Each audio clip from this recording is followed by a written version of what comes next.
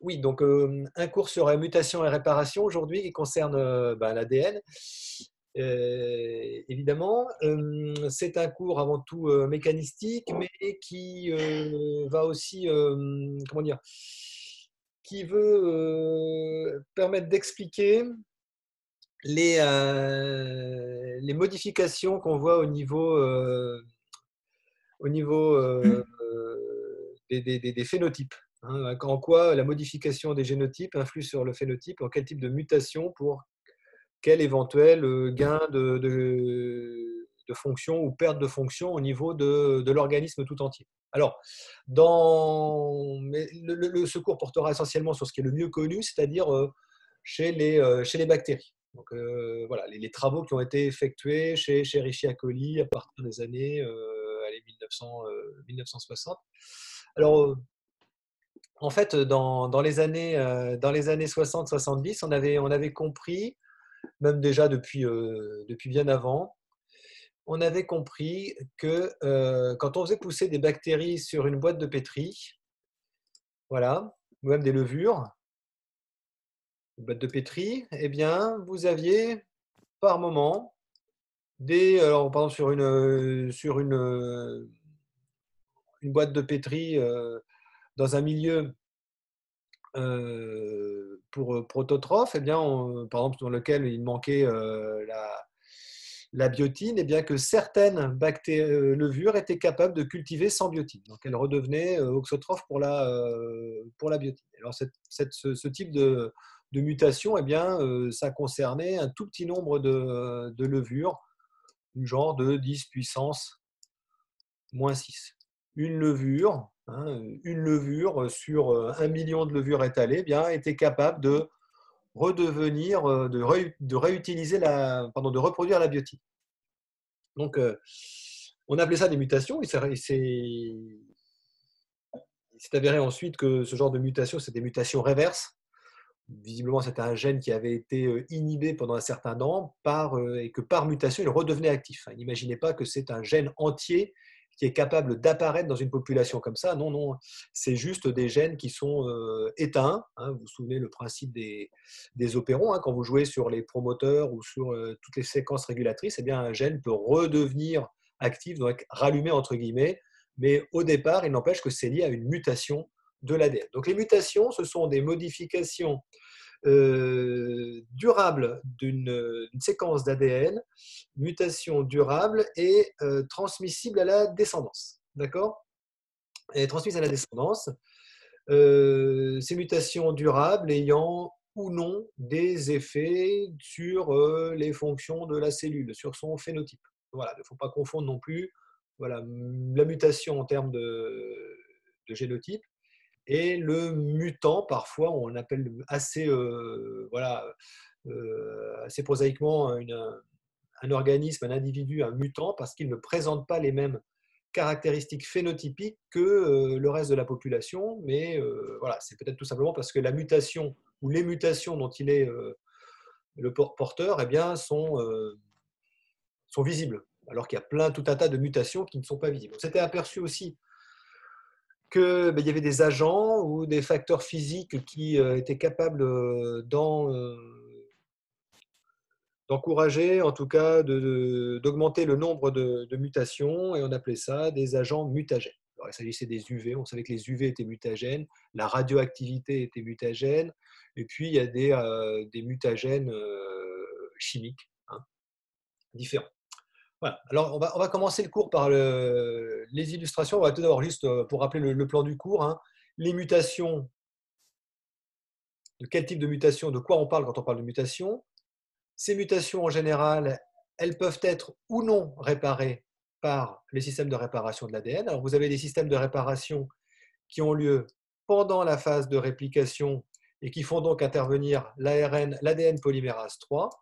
Et puis, vous avez d'autres systèmes de réparation qui sont plus complexes, qui font intervenir des, euh, d'autres, types d'enzymes, d'autres, des polymérases 5 par exemple, ou d'autres euh, systèmes de, réparation plus complexes. Et puis on verra aussi les, comment ces systèmes de réplication peuvent pardon, c'est un système de réparation peuvent se faire par recombinaison homologue à grande échelle et notamment par les, les, gènes, les opérons qui sont mis en place dans le modulon SOS.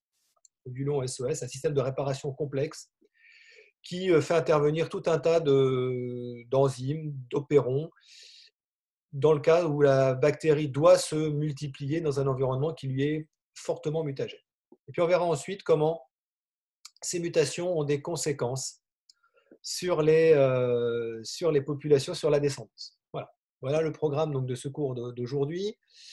Cours d'une quinzaine de pages, mais assez dense en termes de compréhension. on va tout de suite euh, euh, aller sur les, les illustrations. Donc je partage une nouvelle feuille. Voilà. Si Zoom veut bien. Voilà. Alors, je ne vais pas commencer par la fin quand même. Donc, euh, voilà, dans, ces, euh, dans ces 20 pages, euh, ces 20 documents et d'illustrations, il y a des choses qui sont importantes et d'autres qui le sont moins. Alors, tout d'abord, je vous rappelle quelles sont les, les bases azotées de l'ADN. La, de vous vous souvenez, les bases puriques, les bases pyrimidiques. Alors, petite révision ici, ATCG, qui est purique, qui est pyrimidique Vous vous souvenez? Au hasard, euh, au hasard qui, qui veut prendre la parole? En dehors de Camille Bérénice. Bérénice, Bérénice, Bérénice. Oui. Je sais que vous avez déjà travaillé le cours avant, donc euh, Bérénice, qui est purique, qui est pyrimidique euh, Purique, c'est. Euh, non, je dis une connerie. Alors, oui, alors dites-la, dites-la, comme ça on va corriger. Bah, c'est. c'est... Non, je ne sais plus. Alors attention. Là, vous avez, c'est comme ça qu'il faut réfléchir. C'est en fonction de la, euh, la nature du noyau. Là-dedans, vous en avez deux puriques et deux pyrimidiques. Alors, à droite ou à gauche? Bah, Je ne sais plus, moi je le mélange aussi avec furane et pyrane, alors euh, comme ça. Euh. Ah ouais, ouais, bah alors là, oui, non, les furane et pyrane, c'est chez les, chez les sucres. Non, non, ça n'a rien à voir. c'est un autre monde. OK? Alors, il y a un. TSC, non? Pardon? Purique, c'est TSC Purine, c'est Eh ben non, pas de bol. C'est Alors, il y, a, un mode euh, pour s'en souvenir. Donc, ça, ce sont les purines. Et donc, les pyrimines. Et comment est-ce qu'on peut s'en souvenir? Parce que moi, je suis comme vous. J'ai même, enfin, j'ai pas trop de mémoire pour ce genre d'illustration. Enfin, peut-être que vous en avez le meilleur que moi, mais il y a des moyens mnémotechniques. Et alors, vous vous souvenez de comment on s'en souvient? Oh non, je m'en serais souvenu. Moi, je dis que le mot le plus long, c'est celui qui a un seul cycle. Le mot le plus court, c'est celui qui a deux cycles. Ouais. vous pouvez aussi. Voilà, ouais, ouais, c'est une façon. Mais vous pouvez aussi dire que la thymine hmm. et la cytosine ont des Y comme pyrimidine. Ah oui. OK? Et après, euh, une fois que vous savez ça, c'est vous savez que la moitié de la, de la réponse. C'est-à-dire que les timines et cytosines, c'est les petites ou les grandes. Voilà. Alors après, ben, vous dites bien les, le mot le plus long, c'est euh, le cycle le plus court, petit. Cycle simple. si vous trouvez euh, notre moyen, euh, tous les moyens mnémotechniques sont bons. En tout cas, voilà, ça c'est vrai pour purique et pyrimidique. Une base purique s'associe avec une pyrimidique vous vous souvenez, en fonction des, euh, liaisons euh, hydrogènes qu'elles sont capables d'établir entre elles. Donc l'adénine et la thymine, une seule. Deuxième ici, pardon, deux. Deux liaisons hydrogènes. Vous savez qu'une liaison hydrogène, c'est l'alignement de trois atomes avec un hydrogène au milieu. Vous avez l'hydrogène au milieu. Puis les trois atomes sont parfaitement alignés. Alors vous les voyez toutes ici. Ces liaisons, euh, plutôt ces interactions hydrogènes. Et dans ces cas-là, vous voyez que l'hydrogène, il vient souvent d'un donneur. Ici, c'est euh, l'azote qui est plutôt électropositif et l'oxygène qui est plutôt électronégatif. Donc, on va dire, entre guillemets, vous avez un donneur qui est l'azote, puis un accepteur. Alors, ce n'est pas forcément l'azote, hein, mais bref, celui qui porte l'hydrogène, pour faire simple, c'est le donneur. Et celui qui l'accepte, qui l'attire, c'est euh, l'accepteur. Parce que vous avez un, euh, moins delta ici et un plus delta ici. Vous verrez le cours de Monsieur Mink là-dessus. Alors, bref, on a des donneurs, on a des accepteurs d'hydrogène. Oups. Et, euh, et non, c'est oups, oups. C'est dans. Dans l'autre sens. Donc, donneur, euh, dans ce sens-là et dans ce sens-là. Voilà. Alors, euh, il se trouve que ça, c'est intéressant parce que ces, bases azotées, elles ne sont pas toujours très stables. Comme il s'agit de, cycles, d'hétérocycles aromatiques, eh bien, vous vous souvenez, on a des formes tautomères. C'est pas, euh, oui, voilà, il y a les, déplacements des électrons. Et donc aussi, ben, euh, cet azote-là, il peut, enfin, cet hydrogène-là, il peut quitter son azote et se retrouver sur cet oxygène-là ou l'autre, d'accord? Donc, en fonction des formes tautomères, qui sont des formes rares mais existantes, eh bien, si la forme tautomère est présente lors de la réplication, eh bien, ça peut entraîner- entraîner un er- une erreur d'appariement. Alors, c'est ce qu'on va voir dans euh, l'illustration suivante. Voilà, je préfère aborder directement le document 3, on viendra ensuite sur le document 2. Voilà l'illustration de ce que j'expliquais euh, ju- jusqu'à présent. Donc, les formes tautomères des bases. Vous voyez, là, sont représentées avec les petites flèches bleues, euh, l'accepteur, en petites flèches rouges, les donneurs, d'accord? Et puis, on va reprendre l'exemple de notre euh, thymine ou uracile. Et bien ici, vous avez eh bien, l'oxygène. Alors ici, vous avez la- ça va sur le, ribose, ici, tac, tac, tac, tac, tac, tac, tac, des oxyriboses. Et puis là, vous avez un accepteur, un donneur, un accepteur. Eh bien, si euh, la, forme tautomère de la thymine ou du racile, c'est la même chose, eh bien, peut transitoirement donner, apparaître, enfin, donner existence à une forme euh, qui est euh, cétonique, qui ressemble à la cytosine. D'accord? Qui ressemble à la cytosine. Donc, dans ce cas-là, quand la thymine ressemble, entre guillemets, à une cytosine, eh bien, en face, eh bien, ce ne sera pas une, adénine qui sera associée, mais une guanine. La base, ce sera forcément une, une purique, mais au lieu d'être la- l'adénine, ce sera la guanine. OK? Donc, c'est ce qui peut entraîner, vous voyez ici la guanine. La guanine, elle est où? Oxytosine ici. La guanine, elle a deux formes d'honneur qui vont se placer devant les deux formes, les deux euh, fonctions acceptrices de la pseudocytosine, qui est en fait une thymine. Je ne sais pas si vous me suivez au départ. Hein Bref, c'est pas, euh, pas très compliqué à, comprendre. Il faut juste euh, admettre l'idée que par moment, d'un niveau statistique très rarement, mais suffisamment rare pour que ça arrive, eh bien, la thymine puisse en fait être associée de manière euh, naturelle à une guanine. Pardon, la guanine est ici. Si j'ai dit une bêtise, alors ça va une cytosine. Donc voilà, la guanine. Voilà, j'ai dit une bêtise, effectivement. Tac, tac, tac, tac. La guanine, la vraie guanine, elle est là. La vraie guanine, elle est là. Voilà, vous voyez deux donneurs, un accepteur qui peuvent aller pile devant les deux accepteurs et le donneur de la pseudo-thymine, qui ressemble à de la, qui, est la- qui s'apparente à une cytosine. Voilà, donc passé euh, cette, euh, ce- ce- ce- cette euh, explication, voilà, on a donc une forme cétonique de la thymine qui est associée naturellement à une adénine, et puis une forme énolique de la thymine qui est euh, associée à une guanine. Voilà, ça peut, ça peut arriver. Donc dans ce cas-là, on a une erreur d'appariement. Ça se fait donc lors de la, réplication, et vous vous souvenez que l'ADN polymérase 3 a une propriété qu'on appelle proofreading. Donc elle est capable de revenir en arrière et de corriger ce genre de mésappariement, de mismatch. Elle ne les corrige pas tous, mais elle en corrige une énorme, une grande quantité. Alors, ça, ça fait partie des, petites mutations qui font qu'au final, eh bien, on a sur euh, des ADN des, euh, des, modifications euh, durables de la, séquence qui peuvent être. alors attendez, je vais juste.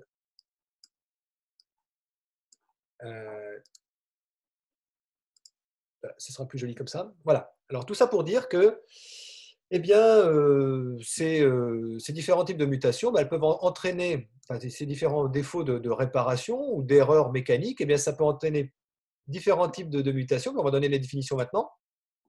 Vous pouvez changer une seule base. Ici, vous avez l'adénine qui va être changée en cytosine. OK? Dans ce cas-là, on parle d'une mutation euh, simple mutation simple qui est une, une, une inversion ou une, une transversion. Euh, Donc, dans ce cas-là, euh, on peut aussi avoir une addition ou une délétion. Ok Donc, ça, c'est au niveau du, simple brin. Évidemment, euh, ça peut être conservé au niveau du double brin si ça n'est pas corrigé. Donc, on peut avoir des euh, changements de, Ah, mais il n'a pas envoyé de, de lien en fait. Non, c'est bon, on est sur le même. Ah. Oui, on Oui, vous on entend. entend. C'est bon. Qu'est-ce que vous avez sous les yeux là? Parce que moi, je suis paumé, là, ma Ouais. Freebox a planté. On n'a rien du tout sous les yeux. Il n'y a rien sous les yeux. Vous avez une boîte Non. noire. Alors attendez, on va revenir sur l'image où on était. J'ai dû relancer la Freebox. En fait, on est, on est trois à travailler. Moi, ma femme, ma fille sur l'ordi, et euh, enfin sur la, la Freebox. Et du coup, je pense que ça Elle, assume pas n'a pas trop. euh, ouais, j'imagine que c'est ça. Eh ben, on est reparti. Ouais, c'est- en plus, on a enregistré. Donc euh, voilà. Euh, eh ben, on reprend. On s'était arrêté. Donc j'en étais à une euh, différents types de, mutations possibles au niveau de l'ADN et euh, en particulier donc voilà des transitions transversions. Euh, voilà, c'est l'exemple ici. Donc, euh, quand une purique est remplacée par une purique adénine par guanine, on a une transition. Une thymine par une pyrimidique par pyrimidique, on a affaire à une transition aussi. Quand euh, toutes les autres possibilités, c'est ce qu'on appelle des transversions. Bon, c'est euh, pas très important ça, ce, terme, mais voilà, on peut avoir des modifications de, la base.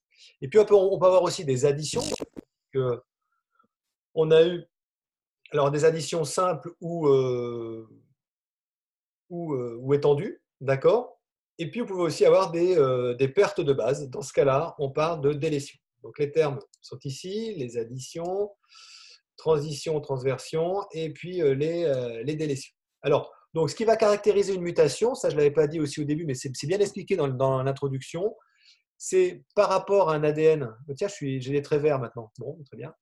Euh, par rapport à un ADN, eh bien, euh, de base, vous pouvez avoir une modification ici. Cette modification, donc, il faut qu'elle touche les deux brins pour être transmissible à la descendance. Puis elle est, donc, ou elle est ponctuelle ou elle est étendue. D'accord? C'est-à-dire étendue, mais évidemment, ça concerne plusieurs bases ok, sur une zone, sur un locus donné. Puis ça peut être aussi une perte. Dans ce cas-là, eh bien, euh, vous avez perdu toute une partie de l'ADN, tout ça c'est parti, et donc on se retrouve avec un ADN plus court. Ça peut arriver aussi, d'accord En fonction, on verra, c'est lié au système de réparation de l'ADN justement.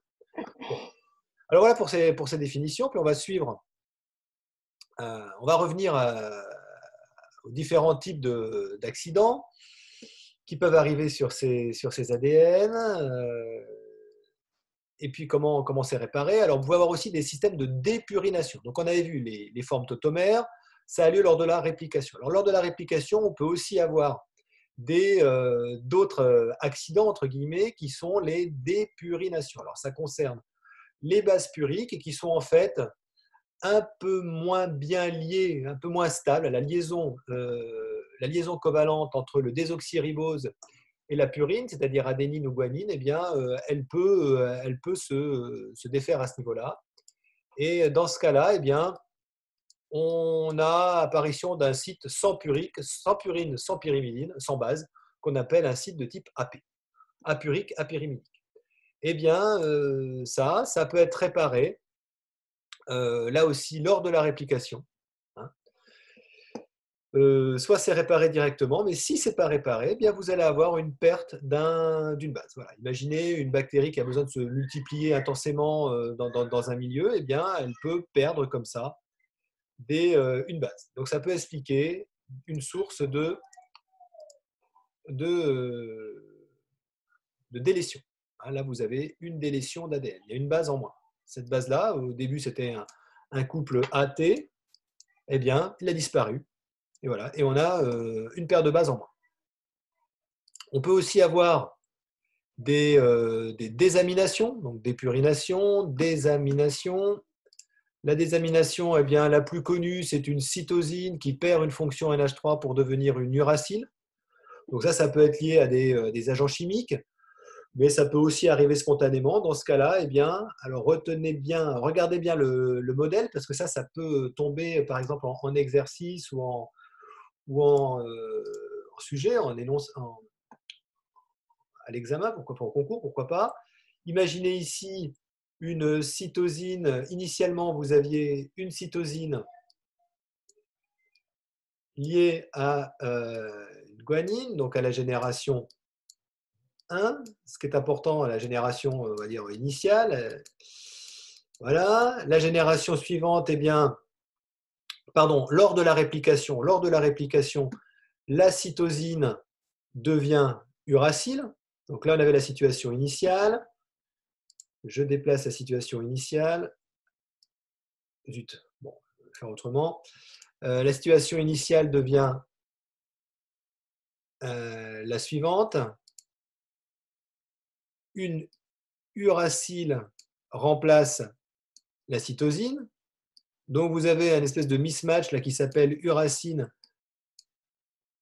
guanine juste avant la réplication. Alors dans la réplication, eh bien, la génération suivante, vous allez avoir devant le brin euh, du haut, euh, s'il n'est pas réparé, eh bien, vous allez vous retrouver avec une adénine. OK? Et devant le brin du bas, vous allez vous retrouver, si c'est réparé, vous allez vous retrouver avec CG, donc la situation initiale. Mais il n'empêche que dans la descendance, eh bien, vous allez avoir un nouveau, euh, un nouveau couple, enfin, nouveau, nouvelle molécule d'ADN qui est AU. Et à la génération suivante, eh bien, ce AU va devenir euh, en face du A, vous allez vous retrouver avec un T, d'accord? Et euh, ce UA va être, va être conservé, mais pas forcément longtemps. En tout cas, dans, dans la descendance, vous allez avoir une modification de, de la paire de base CG, donc qui était une paire de base de, de pyrimidique, par la, paire de, la paire de. Pardon. euh, ah, le, le couple CG va être remplacé par le couple AT. Et donc euh, là, la cytosine est remplacée par une thymine. On a bien affaire à une euh, inversion, une transition. Transition, pardon. hein. Une, transition parce qu'on est resté dans les, euh, dans les cytosines. C est transformé, C est modifié en T dans la génération, euh, pas la génération suivante, mais deux générations après. En tout cas, c'est une source de, modification. Voilà, ça peut expliquer un certain type de, transition et de transversion. Alors, on revient à, notre, un autre exemple, la méthylguanine. Bon, euh, c'est pas la peine de retenir ça. hein. Euh, ce que vous devez retenir dans ce genre de, modification, c'est par exemple, le plus important, c'est les formes tautomères, mais ça a lieu lors de la réplication, et donc c'est transitoire et c'est réparé par la polymérase 3. Prenez un exemple de, de dépurination. Moi, je trouve que l'exemple qui est très intéressant et qui peut être l'objet de, questions, de- d'études de doc, c'est celle-ci. hein, la dé- désamination de la cytosine. Puisque ce qui est intéressant, c'est qu'on part d'une base CG, une paire de bases CG, pour donner dans la génération, euh, pas suivante, mais la génération d'après, eh bien, un AT. Voilà. Donc ça, c'est particulièrement intéressant, c'est facile à expliquer. Puis ça fait appel à des petites notions de chimie, comme le départ d'une fonction amine. Bref, rien de bien compliqué au niveau chimique et rien de bien compliqué non plus au niveau euh, génétique, une fois qu'on a compris euh, le principe de, ce que c'est qu'une une division cellulaire hein, chez la bactérie, puisque vous n'avez qu'un seul exemplaire de la, molécule d'ADN, voilà, au fur et à mesure des générations. On oublie la méthylguanosine, hein, mais euh, voilà, euh, très, très facile, très simplement. Vous avez d'autres modifications. Très intéressant aussi, l'exemple de la, euh, des dimères de thymine. Pourquoi très intéressant? Parce que c'est très connu, ça a été très étudié et c'est souvent un exemple qu'on donne dès la terminale sur les, mutations. Alors là, vous imaginez juste que le, système mutagène ici, ce sont les ultraviolets. Les ultraviolets, quand ils sont exprimés, donc ils sont appliqués sur des thymines voisines, vont entraîner des ponts entre ces deux, euh, deux thymines. Vous voyez ici un exemple. Donc, il s'agit vraiment de dimères de thymine qui sont liées entre elles par liaison, euh, liaison de covalence. Et dans ce cas-là, eh il va falloir faire sauter cette partie avec les deux, les deux thymines. ok? Et c'est le système SOS qui va être, qui va être, mis, qui va être mis en œuvre et qui va servir à justement casser l'ADN de part et d'autre et faire sauter cette, ce, dimère. Il n'y a pas moyen de, de revenir en arrière autrement. D'accord? Il faut vraiment faire sauter les, deux bases. Alors voilà, si la, si bactérie elle a le temps de le, de le réparer c'est bien. Si elle n'a pas le temps, eh bien, il va y avoir des mutations qui vont arriver dans les générations suivantes.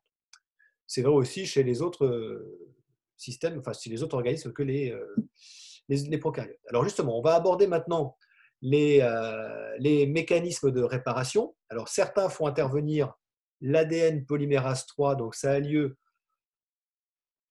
soit pendant la, réplication ou directement après la, réplication, quand le réplisome est toujours, euh, est toujours présent, et puis d'autres euh, interviennent bien après. Alors, vous vous souvenez, je vous avais donné l'exemple euh, la semaine dernière du mismatch repair, c'est-à-dire la réparation de mésappariements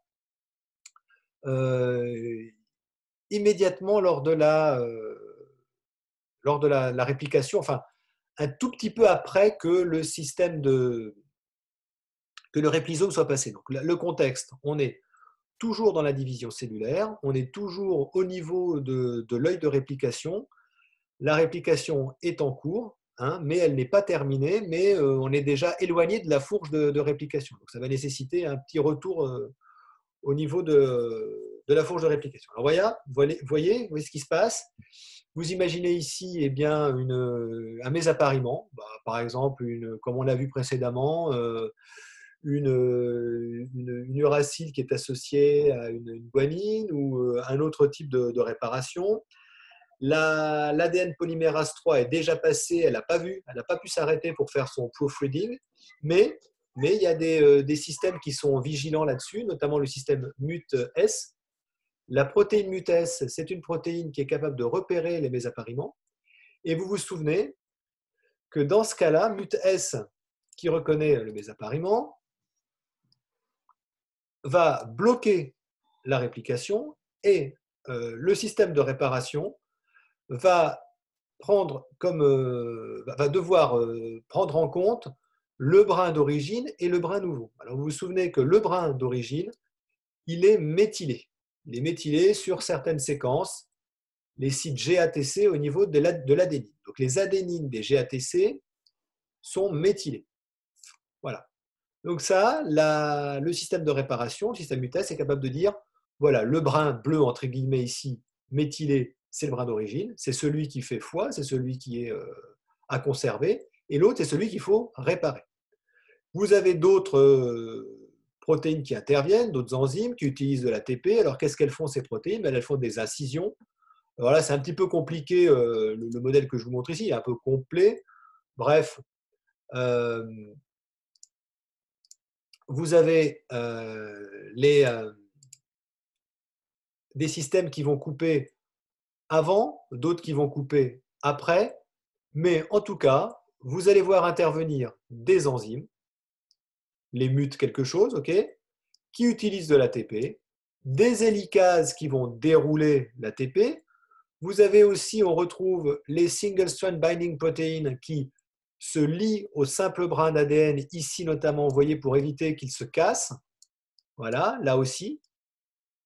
Voilà, donc on évite que le brin d'ADN se casse. Et puis vous avez l'ADN polymérase 3 qui est capable, c'est le, réplisome qui revient, vous vous souvenez, il y a des systèmes d'ouverture de la pince bêta, l'holoenzyme est capable de se recoller à l'endroit où il y a eu l'erreur. Vous voyez que là, il y a quand même une grande partie de l'ADN qui a été enlevée. Donc là, ça nécessite euh, de faire travailler l'ADN polymérase 3 en entier. D'accord? Et dans ce cas-là, ben, elle refait son travail, le boulot qu'elle avait déjà fait mais qu'elle avait mal fait, et elle reproduit un ADN double brin correct. Et au final, évidemment, pour que les, euh, les simples brins soient collés entre eux, les liaisons phosphodiester soient faites, eh bien, vous avez l'intervention d'une ligase au final, qui va coller ici, d'accord? Qui va coller là. Voilà. Hein, parce que la, polymérisation, elle se fait toujours de 5' vers 3'. Comme ça. Et là, comme ça. Voilà. Donc voilà, un système de réplication qui a lieu juste après la- l'activité proofreading de la poly- polymérase 3, mais c'est toujours la polymérase 3 et ça a toujours lieu dans la fourche de réplication avec un ADN, un ADN néosynthétisé qui n'est toujours pas méthylé. Il le sera après. Mais pour l'instant, à ce stade-là, il n'est pas méthylé. Voilà, on attend un peu pour le, méthyle. Alors, qu'est-ce qui se passe plus tard? Eh bien, vous avez des systèmes un peu plus, euh, un peu plus complexes. Voilà par exemple un exemple de mécanisme de la synthèse translésionnelle. Quand vous avez des lésions, euh, quand il reste qu'un seul brin d'ADN, eh bien, vous avez des polymérases 5 qui interviennent, qui remplacent momentanément l'ADN polymérase 3, mais ce n'est pas, euh, c'est pas fondamental. hein. Ce qui est plus important, c'est le système de mismatch repair. Donc, retenez bien le mismatch repair. Ça, vous pouvez le laisser un peu de côté. C'est moins important. OK? On continue la progression vers le système de réparation. Euh, vous vous souvenez, je vous avez parlé juste avant de la, la mutation, pardon, euh, des, dommages liés à, au, au, au dimère de thymine, ce qu'on appelle ici voilà, le dimère de, thymine, pyrimidine, pyrimidine, le dimère de thymine, euh, liés aux UV euh, et qui font intervenir des, euh, une enzyme à euh, FAD.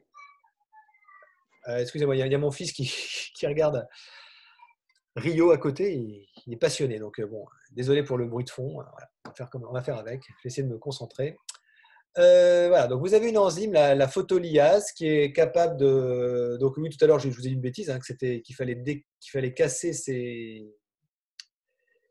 Euh, qu'on ne pouvait pas casser les, dimères de, thymide, de thymine, c'est faux. Vous avez une enzyme, la, la qui est capable de le faire, mais elle aussi, elle consomme de, de, de l'énergie euh, lumineuse.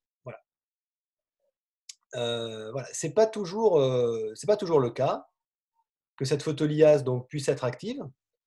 Et en absence de photolyase, mais il faut utiliser d'autres systèmes. Donc, ce sont des systèmes de réparation par excision de base, par exemple. Voilà, ici, ou plutôt par réparation par excision de nucléotides. On enlève les deux nucléotides qui, ont, qui sont impliqués. Donc, imaginez ici un dimère de thymine. Donc là, on est dans le cas où la photolyase n'est pas capable de travailler, elle n'a pas l'énergie lumineuse nécessaire. Donc, Vous avez un système, et puis là, on, est, bien, on est dans de l'ADN stock, d'accord? On n'est pas lors de la réplication, donc on a de l'ADN qui est méthylé des deux côtés, donc il n'y a pas moyen de savoir quel est le bon, quel est le pas bon. ok? Et bien dans ce cas-là, euh, un opéron, l'opéron UVR, eh bien lui va réparer le système en faisant quelque chose de beaucoup plus trash. Il va casser quasiment, il va casser le brin où il y a les deux thymines, que ce soit le brin euh, d'origine, le brin pas d'origine, il s'en fiche. Lui, c'est, on est sur de l'ADN stock là. Vous avez euh, un dimère de thymine, la photolyase n'est pas active parce qu'elle n'a pas la, longueur d'onde lumineuse nécessaire. Eh bien, qu'à cela ne tienne, eh bien, on a un système qui va couper une grande partie de l'ADN et qui va le remplacer par euh, un autre système, par l'ADN, polymérase 1 cette fois-ci. Et l'ADN ligase. Donc l'ADN polymérase 1, elle va travailler comme ça et elle va remplacer. Et vous voyez qu'on avait euh, deux thymines adjacentes liées, bien là on a deux thymines séparées. Normalement, ça ne fait pas apparaître de mutation, sauf si vous avez quand même un grand nombre de, de thymines.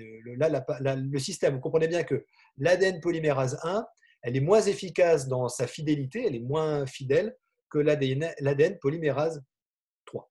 Ok? Donc, pour ce qu'il faut retenir de cette partie du cours, retenez le système UV là et retenez moins le système de réparation par excision de base. Voilà. Si on doit faire des, choix dans les, révisions, eh bien ça, pour moi, c'est moins important que, et puis n'oubliez pas la, la c'est moins important que la partie suivante qui est celle-ci. Sur le système UVA, parce qu'en plus, on va y revenir tout à l'heure dans, dans le Voilà, alors vous avez euh, un autre système qui s'appelle la réparation euh, par recombinaison homologue. Alors, ce système a lieu quand vous avez deux brins d'ADN dans la même cellule qui sont disponibles. Alors, quand est-ce que la cellule a deux brins d'ADN double brin disponibles Eh bien, soit elle est... euh, ça n'arrive pas lors de la, réplication, hein, vous voyez, on a l'œil de réplication, ou alors vraiment, ça arrive en fin de réplication, quand vous avez déjà des brins d'ADN qui sont l'œil de réplication qui est ici, tac, tac, tac. Vous avez des doubles brins qui sont déjà synthétisés. Vous avez celui-ci, celui-ci, là. Et puis, vous en avez un court. Bref, il y a des zones où l'ADN est, euh, est double brin. Vous avez des zones avec des doubles brins euh, qui se correspondent. Vous voyez, ça, ce double brin-là, cette région-là, elle a son homologue ici. Elle a son homologue ici. Ok? Donc, vous pouvez imaginer des systèmes de réparation homologues. Donc, ça, ça peut exister chez la bactérie, d'accord, la recombinaison homologue, mais ça existe aussi, donc là on est chez les, chez les prokaryotes. Ça peut aussi exister chez les eucaryotes, et ça, ça se comprend beaucoup mieux parce que chez les eucaryotes, eh bien, vous avez des ADN, chez la levure notamment, vous avez des paires de, chromosomes. Donc, euh, si euh, vous avez une cassure double brin, Hein, donc ce système, il apparaît lorsqu'on a une cassure double brin, j'ai oublié de préciser avant. Eh bien dans ce cas-là, vous avez un système de réparation d'urgence, puisqu'il en va de la vie de l'organisme, de, la levure ou de la, bactérie ou de la cellule eucaryote. En cas de cassure double brin, vous avez une réparation qui se fait de manière automatique avec des systèmes, le système REC-A, qui repère ce genre de, de, de, de, cassure et qui est capable de réparer par recombinaison homologue. Alors, si vous regardez bien la recombinaison homologue, eh bien, vous avez un échange de brins entre deux, deux ADN. Donc, pour faire simple, j'ai un ADN ici, j'ai son homologue. ok? Si j'ai une cassure double brin là, eh j'ai un système de réparation qui va faire une inversion alors, dommage, j'ai que, que la même couleur, mais si j'avais des couleurs différentes, je, vous montrerai. Eh bien, on a une réparation avec une inversion. Voilà. Cette partie-là, cette région-là, elle a été échangée entre les deux ADN. Alors, on verra que ce genre de recombinaison homologue, c'est un terme qui est indispensable à retenir parce que la recombinaison homologue, c'est beaucoup utilisé en génie génétique. Hein pour faire de la transgénèse en génie génétique.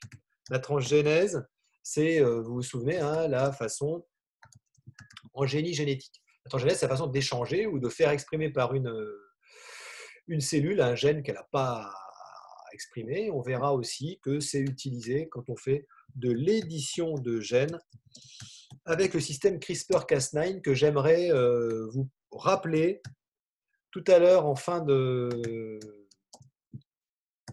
en fin de, cours. C'est un peu pour ça que j'étais en retard tout à l'heure, parce que je cherchais justement une, vidéo qui soit assez, euh, assez simple. Ce n'est pas, pas évident. En. J'essaierai d'en trouver d'autres. Bref. Alors, vous, donc vous avez le système REC-A qui est capable de faire ce, ce, type de modification chez la bactérie, mais aussi l'équivalent chez la levure et chez euh, les eucaryotes, la recombinaison homologue. Ça existe aussi, vous vous souvenez, chez les eucaryotes. C'est ce qu'on appelle euh, lors de la, lors de la méiose, lors de la prophase de la méiose, vous vous souvenez?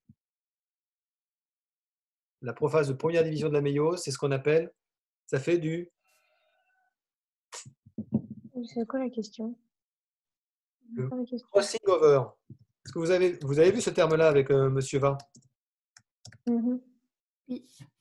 C'est quoi, le, Justine, le crossing over? Euh, bah, c'est quand il y a des branches de chromosomes qui, enfin, qui, qui s'interchangent dans un, euh, dans un couple de chromosomes. Exactement, c'est ça. Hein?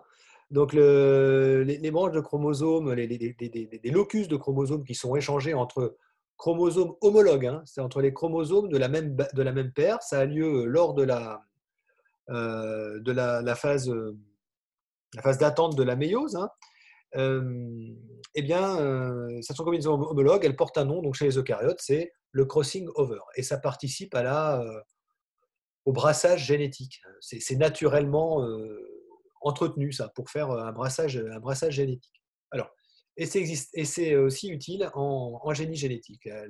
On, verra, tout ça euh, un peu plus tard. Donc, voilà ce système de réparation. Alors, après avoir présenté ces différents systèmes, euh, mécanismes de réparation, je vais juste vous dire deux mots sur des, comment sont organisés ces, ces mécanismes, ces enzymes de réparation. Eh bien, le, le plus simple, c'est de vous parler du système du régulon SOS. Vous vous souvenez, un régulon, c'est un, système de contrôle de plusieurs opérons. Le régulon SOS, comme son nom l'indique, il intervient lorsqu'il y a euh, euh, danger imminent pour la, bactérie lors d'un problème d'ADN. Non seulement c'est un danger pour la bactérie, mais pour l'espèce en tant que telle, puisque vous risquez de perdre de, de l'ADN aux- aux générations suivantes. Alors regardez ce qui se passe ici. Alors là, on a pris euh, un exemple dans le cas d'une euh,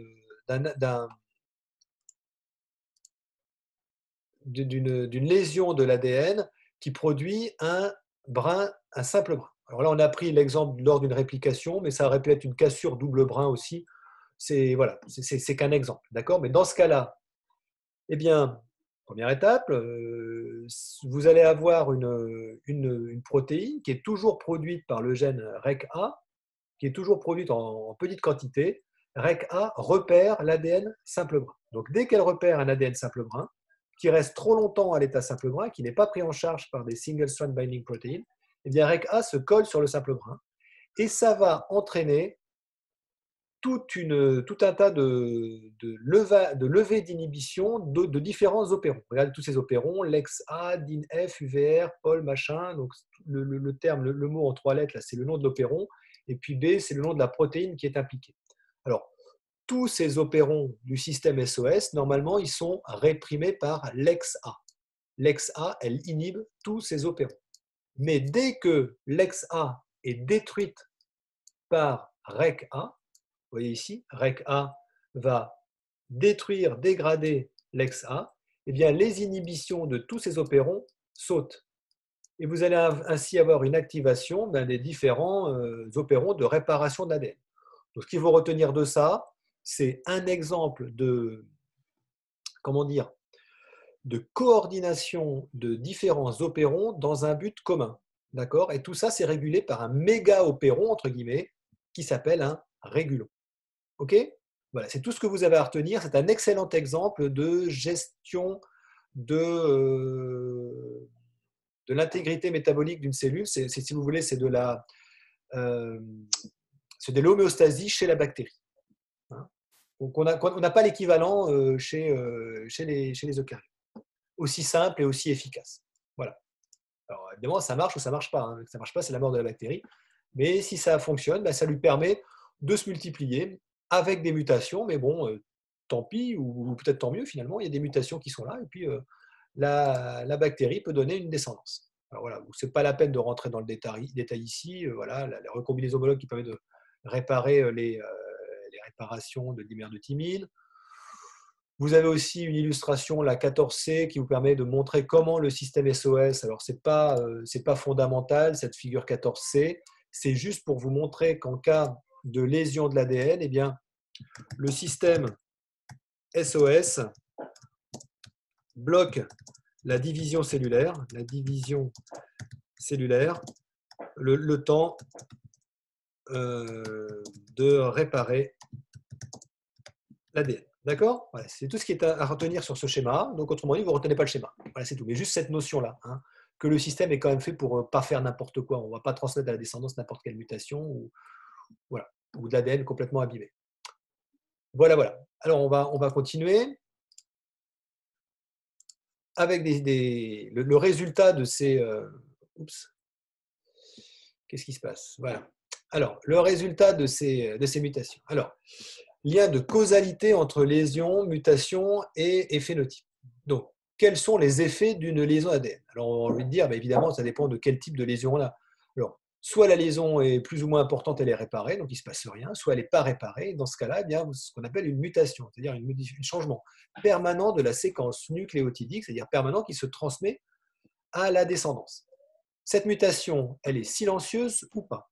Si elle est silencieuse, on verra ce que c'est qu'une mutation silencieuse, c'est-à-dire ça peut très bien taper dans une séquence qui n'est pas euh, codante, ou ça peut être dans un, une mutation qui n'entraîne pas de modification d'un, de l'acide aminé codé par le, par le, codon, et bien dans ce cas-là, il n'y a pas de changement. Sinon, elle peut être délétère ou, euh, ou létale. Et dans ce cas-là, bien évidemment, c'est une, euh, une mutation qui n'est pas silencieuse. Alors, voilà, donc je ne suis pas tout à fait d'accord avec ce schéma-là. Euh, voilà. Silencieuse, il n'y a pas de changement. Silencieuse, non silencieuse présente un avantage sélectif. Ou létale ou délétère, évidemment. Euh, silencieuse, il n'y a pas de changement. Oui, euh, non, c'est pas ça. Ce schéma, il a un petit problème. Voilà. Ou c'est silencieux, ok, ou c'est non silencieux. Et si c'est non silencieux, bien, ou ça ne modifie pas, il n'y a pas de changement, il y a un effet, mais cet effet ne se voit pas, ou c'est dangereux pour la cellule et l'espèce, ou c'est mortel, dans ce cas-là, il n'y a pas de descendance, ou ça présente un avantage, ce qu'on va appeler une perte de fonction ou un gain de fonction. Voilà, pour la suite, donc ça c'est assez facile à comprendre. Alors voilà. Alors comment se fait-il que ces mutations peuvent être silencieuse ou pas silencieuse. Alors pour revenir là-dessus, vous allez voir, alors j'ai modifié un peu le schéma parce que sinon ça vous aurait obligé à tourner la tête et vous auriez eu un torticolis, ce n'est pas le moment. Alors, euh, la mutation, qu'est-ce que c'est qu'une mutation silencieuse? Alors voilà un exemple ici. On s'intéresse à la mutation 12 de euh, l'ADN présenté ici. Alors, sauf qu'on ne vous a pas dit que dans l'ARN messager, ici, on avait le codon START toujours intéressant de savoir où est le codon start. Sinon, on ne peut pas savoir comment sont organisés les mutants. Le start, il est là. Vous avez une modification, C devient A dans le bras matrice. C devient dans le bras matrice, ça veut dire que ça va entraîner un U dans l'ARN messager. Dans ce cas-là, la séquence initiale, méthionine, tryptophane, leucine, proline, asparagine, stop, eh bien, ça ne modifie pas, puisque le codon CC C, euh, pardon, euh, si c'était un A, initial, GG. Alors au début, au début, on avait un C, donc normalement, normalement ça aurait dû être un G ici. En tout cas, que l'on ait ici le codon CCG ou CCU, dans les, dans les, deux cas, ça codera pour une proline. Et on a donc affaire à une mutation silencieuse.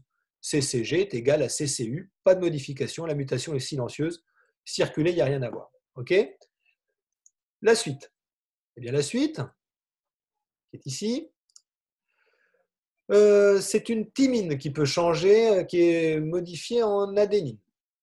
Alors, on était à, donc c'est la modification, euh, c'est pas la même base, c'est la position 14. Donc, en position 14, une thymine est remplacée par une adénine. L'adénine qui est ici. Donc, dans ce cas-là, le codon CT a, ou plutôt GAT, GAT devient GUU.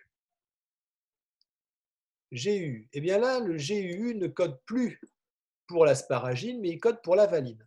Mais dans ce cas-là, on a un acide aspartique qui est remplacé par une valine. Alors ça, ça peut avoir un effet. Surtout si c'est lié à une protéine, enfin si cet acide aspartique a un rôle. Vous vous souvenez, l'acide aspartique, c'est un acide, il est chargé négativement à pH neutre, et puis la valine, elle est neutre. Donc ça, ça peut avoir un effet. C'est une mutation faux sens. C'est-à-dire que ça a du sens, mais ce n'est pas le sens qu'on voulait au départ. Mutation faux sens. Et puis, vous pouvez avoir d'autres cas de figure. Voilà ici la mutation non-sens. Une mutation non-sens, eh c'est tout simplement le fait de faire apparaître un codon stop le cadre de lecture, bien, vous voyez, juste après l'AUG, vous avez un UAG. Ben, UAG, c'est stop. Donc au final, l'ARN messager, il n'est pas exprimé. Il n'y a rien du tout. Voilà. Et puis vous pouvez avoir aussi des mutations qui sont des mutations de cadre de lecture. Alors, imaginez que vous ayez une insertion ou une délétion, une entrée de, base nucléotidique, d'une base ou une, perte, eh bien, ça va entraîner un décalage du cadre de lecture on en avait déjà parlé du, décalage de cadre de lecture. Alors ça, c'est vraiment, euh, vous voyez ici, TAC devient ACG. Bien là, j'ai une timine qui rentre là. Et donc du coup, Eh bien, euh, en face, j'ai un- une adénine, une, une thymine. Euh, un codon, un deuxième codon, donc AUG, ça va, puis euh, UGG, ouais, c'est correct, mais après, au lieu d'avoir euh, CUC, j'ai ACU, puisqu'il y a une thymine qui a été placée entre le C et le G ici. J'ai bien un décalage du cadre de lecture. Et mon acide aminé, qui au départ était méthionine, tryptophane, euh, blablabla, je ne me souviens plus, eh vous avez méthionine, tryptophane, tréonine, proline, glycine, leucine. Vous avez une protéine qui est complètement modifiée. hein. Donc là, cette mutation euh, du cadre de lecture, elle peut avoir un effet important. Alors des fois, le système de réparation, euh, pardon, cette nouvelle protéine peut avoir un rôle euh, important au moment de la vie de la, bactérie ou pas. Donc, ça peut avoir un effet plus ou moins important sur la bactérie. Ça peut être une, euh, un apport de, caractère. Ça peut être la mort, ça peut être euh, donc euh, létal. Ça peut être un apport positif pour la bactérie qui va être sélectionné dans, les, dans la descendance par les principes de l'évolution. Du coup, c'est ce qu'on appelle un gain de fonction. Ça peut aussi être une perte, de, donc un désavantage par rapport aux autres. C'est une perte de fonction de la, bactérie qui peut être un désavantage. Et dans ce cas-là, euh, voilà, c'est un désavantage pour, pour la. Ça ne sera pas euh, retenu dans la descendance. Donc attention, je, vais un peu vite là parce qu'en fait, euh, perte de fonction et gain de fonction, c'est pas forcément avantage ou, ou délétion. On peut avoir une perte de fonction qui peut être un avantage ou, ou un inconvénient. Voilà. Bref. Voilà. Pourquoi j'insiste là-dessus C'est parce que ce type de d'explication là, il faut absolument connaître ces définitions silencieuse, faux sens, non sens, mutation. Pourquoi? Parce que ça peut vraiment faire l'objet euh, d'exercices. Alors, je vais essayer de peut-être vous trouver des TD là-dessus, si j'ai le, le temps, mais sinon, euh, voilà, il faut bien avoir compris euh, le, le principe. Parce que ça, ça vraiment peut être des exercices faciles de génétique dans lesquels on, ne se trompe pas, mais pour ça, il faut bien maîtriser euh, les, euh, les principes fondamentaux. Alors, dernière partie de ce cours, les molécules, enfin avant-dernière partie, ce sont les, agents mutagènes. Alors normalement, dans le programme, on ne doit pas trop développer les agents mutagènes, je ne vais pas dire grand-chose là-dessus, sauf qu'il existe des molécules ou des, euh, ou des,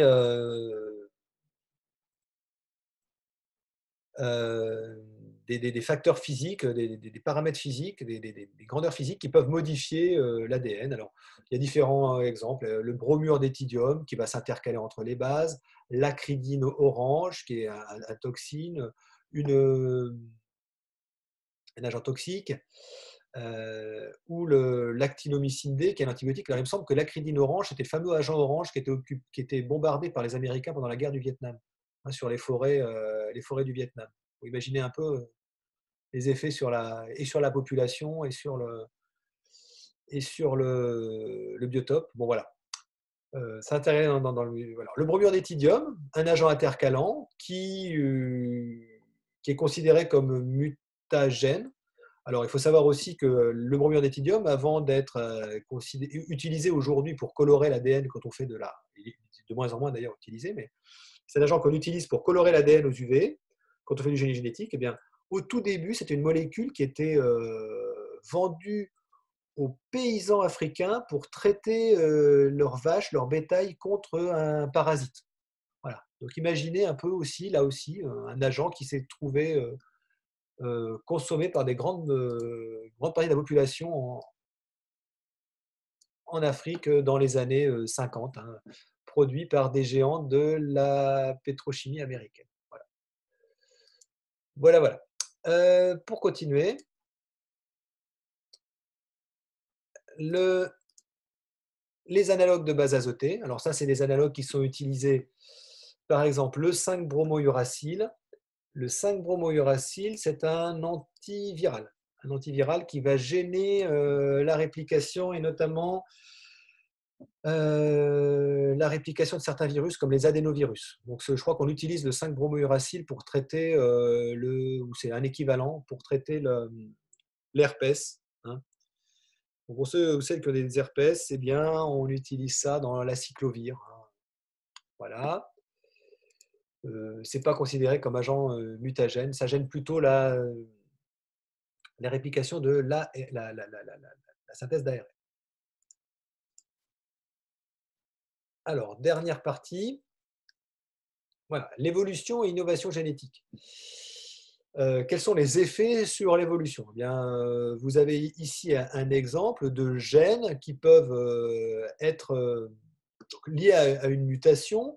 Un gène qui entraîne donc, le gène 1 qui constitue la- la- la- l'aile 1, il peut être dupliqué. On a des systèmes de duplication de l'ADN, là aussi pour des, pour des raisons de réparation d'ADN, une partie d'ADN peut être dupliquée. Donc ça peut être tr- une mutation très étendue, très étendue pardon, qui va entraîner la duplication d'un gène et ces deux gènes peuvent avoir leur propre vie. Donc ils peuvent aussi muter et, euh, évoluer de manière différente. C'est comme ça qu'on va trouver des allèles dans des populations.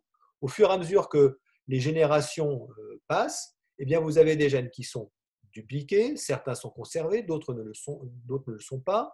Ils sont conservés chez certains individus, pas chez d'autres. Bref, vous allez avoir des modifications petit à petit dans les espèces, comme ça, au sein d'une même espèce, jusqu'à faire apparaître des individus dans des isolats qui sont complètement différents d'autres isolats. Et ça va faire apparaître de nouvelles espèces. D'accord? On va aussi avoir des gènes qui sont vraiment, vraiment, vraiment durablement modifiés, ce qui, euh, au sein d'une espèce, entraîne ce qu'on appelle les, euh, les races, les différentes races au sein d'une même espèce. Donc, euh, euh, c'est le fruit d'une sélection. hein, les, les différentes races de, bovins, les différentes races de, chiens. Vous voyez qu'un un ça n'a rien à voir avec un, je sais pas quoi, j'y connais pas grand-chose en chien, mais euh, avec un Yorkshire, euh, encore moins avec un Doberman, et tout ça, génétiquement, c'est la même chose que le loup. Hein, C'est les mêmes gènes que les loups, sauf que c'est en général, alors voilà, ça ne touche pas forcément les gènes, c'est tout- surtout les, régulons, les, régulations, les facteurs de. les promoteurs de ces gènes. hein. Bref, vous allez avoir de la sélection qui va entretenir certains gènes par rapport à d'autres. Donc vous lirez un peu plus en, détail ce que, ce que j'ai expliqué ici, mais que grosso modo, vous avez des gènes qui vont procu- procurer un avantage sélectif. Ceux-ci seront plus représentés dans la descendance et d'autres donnent un, désavantage sélectif. Alors, quand on dit sélectif, c'est en fonction de l'environnement. C'est-à-dire qu'en ce moment, on a des modifications, par exemple, de, la température, hein, du climat. Le climat change. Eh vous allez avoir des espèces de plantes qui sont mieux adaptées à des climats plus chauds et plus humides. Eh bien, leur descendance euh, sera plus euh, avantageusement euh, sélectionnée, on va dire. D'accord? Mais vous avez vu tout ça en, détail avec Monsieur Va, donc je ne vais pas euh, passer euh, plus de temps là-dessus. Voilà. Un tableau récapitulatif qui vous donne les conséquences euh, sur la fonction des protéines, des modif- modifications. Quel type de, de modification on peut trouver sur l'ADN hein? La mutation peut être une substitution. Donc la substitution, c'est la transversion ou la, ou la transition, d'accord? C'est une modification ponctuelle. Alors vous avez les différents cas de figure où elle est silencieuse, faux sens, faux sens ou pseudo-sens, c'est pareil, hein, on ne va pas rentrer dans le détail, ou non-sens. Et là, dans le cas-là, vous pouvez avoir, si elle est silencieuse, il n'y a aucun effet. Si elle est non-sens, vous allez avoir une perte de la, de la protéine. Et si elle est faux sens, eh bien, vous allez avoir un gain, une perte ou rien du tout. D'accord? Voilà. Et puis, euh, vous avez d'autres cas, évidemment, entre euh, les insertions, les délétions qui, en général, entraînent un décalage du cadre de lecture. Retenez surtout cette toute première partie-là sur les substitutions. C'est ce qui est peut-être de plus facile à expliquer euh, dans le cadre d'un sujet. Et puis, la toute dernière illustration, qui, elle, vous rappelle, qui est euh, une récapitulation des différents types de, réparation de l'ADN. Et moi, je vous avais dit que les choses, le, système le, plus important à retenir hein, euh, en termes d'exemple, si vous deviez prendre un exemple dans le, sujet de synthèse, hein, c'est surtout de dire que euh, eh bien, vous avez des. euh, Alors, dans le cadre de ces systèmes de réparation, là, le plus connu, c'est le système euh, de réparation SOS, là, qui, qui tient compte, qui a modifié les, dimères de thymine. Mais ce qui- ce qu'il faut être capable d'expliquer, vous, et ça, je pense que c'est vraiment le plus important, c'est que vous avez des. donc, quelles sont les différentes mutations quelles sont ces différentes mutations, qu'est-ce que c'est au juste qu'une mutation, et puis ensuite comment eh c'est en, c'est réparé ou pas. Donc les différents types de réparation de l'ADN, vous en avez qui ont lieu au niveau de la polymérase 3 immédiatement, c'est ce qu'on appelle le proofreading. Vous en avez d'autres qui ont lieu immédiatement après, là encore pas la polymérase 3, ça concerne le mismatch repair. Et puis vous en avez qui arrivent ensuite, d'accord, et qui font, euh, qui arrivent plus tardivement et qui mettent en place, par exemple, les différents acteurs euh, du régulon SOS. Voilà, et avec des effets ensuite qui sont euh, des effets différents au niveau de, l'expression, hein, des conséquences, conséquences différentes, différentes au niveau du phénotype. Voilà pour ce cours que je vais mettre en ligne euh, aussi, aussi vite que possible. Merci de votre attention. Je vous reprends tout de suite, j'arrête l'enregistrement.